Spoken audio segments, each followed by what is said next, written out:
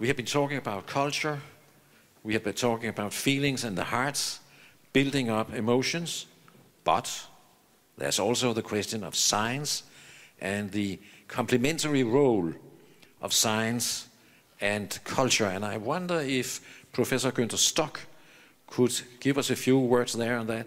And I have a feeling that he has a surprise. Professor. Thank you.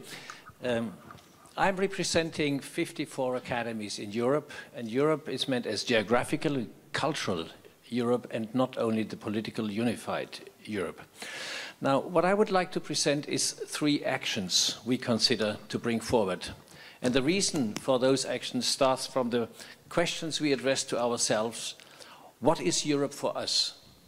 And the second question we put forward, what can European scientists and especially scholars contribute to Europe's future?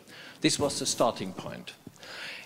Actually, we are not pessimistic. We consider Europe as a cultural, but especially as an intellectual unity.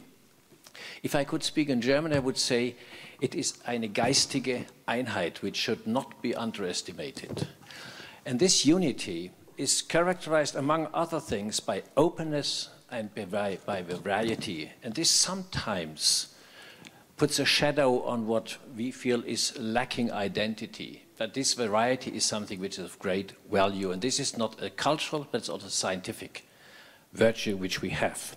And this entity has been for a long time, we know that, is, and we are convinced will be a reality and the basis, and the basis for all other political and societal developments and decisions also in the future. It will have an impact on us, if we want it or not.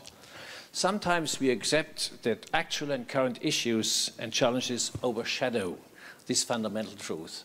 Now, in order to revitalize this truth, we propose three concrete actions. Not only analysis, we want to have actions. The action which has probably the highest visibility is we want to create a European prize for European eminent scholars in social sciences and in humanities.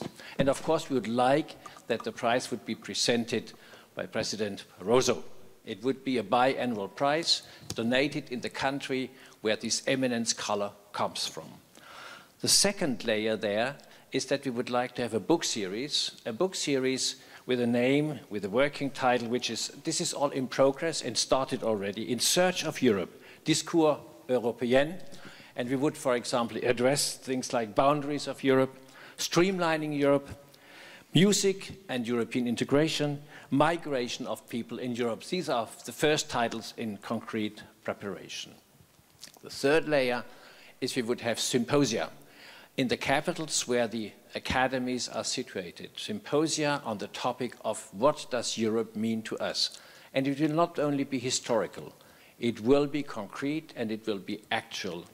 And we hope that certain ministers in Europe, for example, the Italian Minister for Science and the German Minister, will somehow sponsor these type of activities. So three concrete plans how we can contribute to re revitalize what we need to have and what we want to have in Europe. Thank you. We also need to have the intelligence, the uh, contributions, the criticism, the imagination of artists, like as you mentioned, of men and women of culture, to engage in this debate. By the way, let me thank you, Professor Stock, for your initiative. Let me tell that I will be more than happy and proud to participate if we find the right moment in the agenda. So that idea of the European Academies of Science to launch this kind of prize, the idea of your, your books, so if I can or the Commission can be associated with that, we will be more than happy to, to support it. Because I really believe this is one of the reasons why we can show that European means something.